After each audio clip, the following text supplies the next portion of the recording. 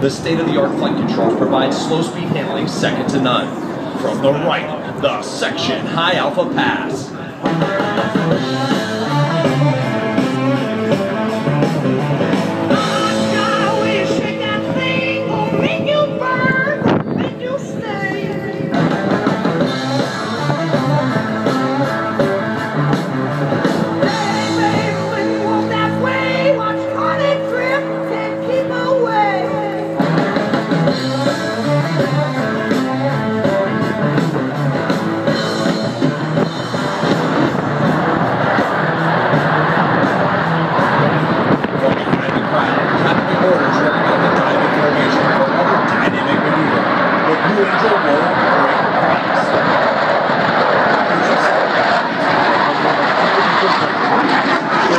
Separate direction.